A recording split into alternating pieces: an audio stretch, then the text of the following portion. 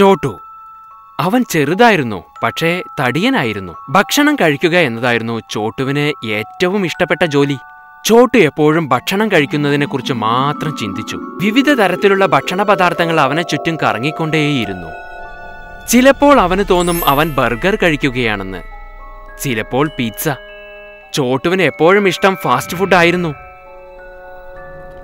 പക്ഷേ ചോട്ടുവിന്റെ അമ്മ അവന് പച്ചക്കറികൾ ഉണ്ടാക്കി കൊടുക്കും. മകൻ ആരോഗ്യവാനായി ഇരിക്കുവാൻ വേണ്ടിയായിരുന്നു അത്. പക്ഷെ ചോട്ടുവിന് പച്ചക്കറികൾ തീരെ ഇഷ്ടപ്പെട്ടില്ല. അവന് ദിവസവും പച്ചക്കറികൾ കഴിച്ച് മടുത്തു.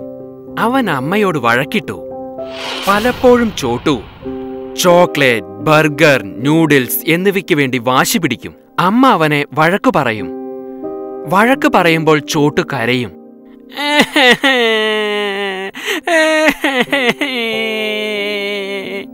എന്നിട്ട് കരഞ്ഞു കരഞ്ഞ് കിടന്നുറങ്ങും. ചോട്ടുവിന്റെ സ്വപ്നങ്ങളും അവനെപ്പോലെ വളരെയധികം വ്യത്യസ്തമായിരുന്നു. സ്വപ്നത്തിൽ അവനൊരു മാന്ത്രിക ഭക്ഷണസ്ഥലത്തെത്തി. അവിടെ മരത്തിൽ ന്യൂഡിൽസ് കായ്ക്കും മിഠായി പൂക്കളുണ്ടാകും. ജ്യൂസിന്റെ നദിയൊഴുകും ബർഗർ കൊണ്ടുള്ള വീടുകളുണ്ടാകും ചോക്ലേറ്റുകളുടെ റോഡുമുണ്ടാകും.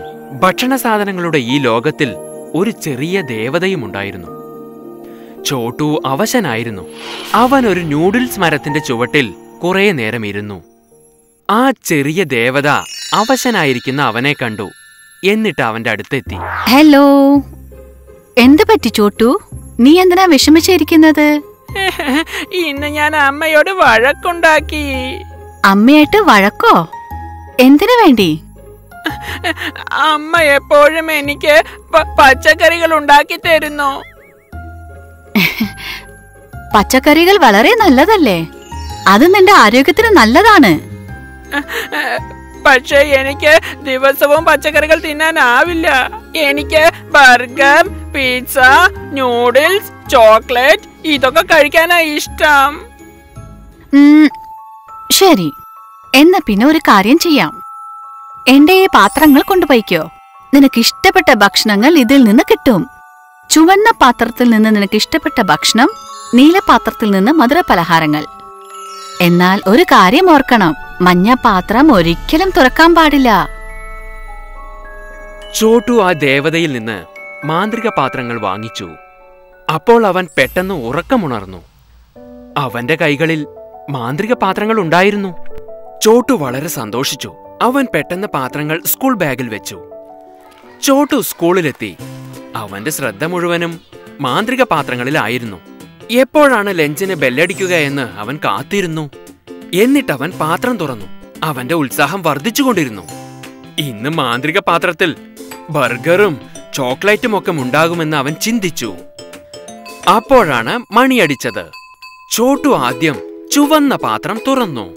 അതിൽ ബർഗർ ഉണ്ടായിരുന്നു. പിന്നീട് അവൻ നീല പാത്രം തുറന്നു. അതിനകത്ത് ചോക്ലേറ്റ് ഉണ്ടായിരുന്നു. ചോട്ടുവിന് ഇരട്ടി സന്തോഷമായി. അന്നു മുതൽ ചോട്ടു സന്തുഷ്ടനായി. കാരണം അവന് ദിവസവും അവൻ ഇഷ്ടപ്പെട്ട ഭക്ഷണങ്ങൾ കിട്ടുന്നുണ്ടല്ലോ. ചിലപ്പോൾ ന്യൂഡിൽസ് ചിലപ്പോൾ ഗുലാബ് ജാമുൻ.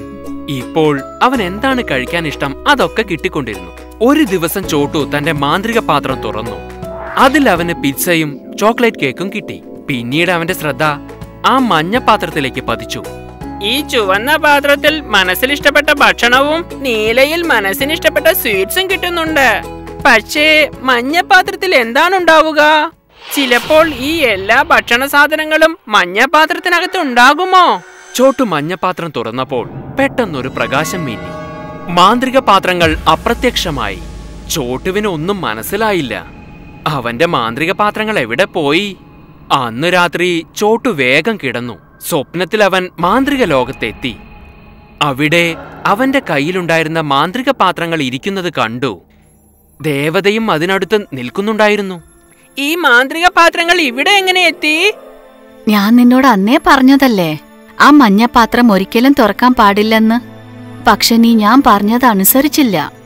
ആ മഞ്ഞപാത്രം തുറന്നതുകൊണ്ട് മൂന്ന് പാത്രങ്ങളും മാന്ത്രിക ഭക്ഷണ ലോകത്തിലേക്ക് മടങ്ങി വന്നു. ഇനി നിനക്ക് ഒരിക്കലും ഇഷ്ടപ്പെട്ട ആഹാരം കഴിക്കാൻ സാധിക്കില്ല. ദേവതയുടെ വാക്കുകൾ കേട്ട് ചോട്ടു വിഷമിച്ചു. താൻ ചെയ്ത തെറ്റിനെക്കുറിച്ച് അവൻ പശ്ചാത്തപിച്ചു. അത്യാഗ്രഹം ആപത്താണ് എന്നത് അവൻ മനസ്സിലാക്കി. ഹായ് ഞാൻ ഷൈനി. നിങ്ങൾക്ക് ഈ കഥ ഇഷ്ടപ്പെട്ടെങ്കിൽ തീർച്ചയായും ഷെയർ ചെയ്യണം. കൂട്ടുകാരോട് പറയാനും സബ്സ്ക്രൈബ് ചെയ്യാനും മറക്കല്ലേ?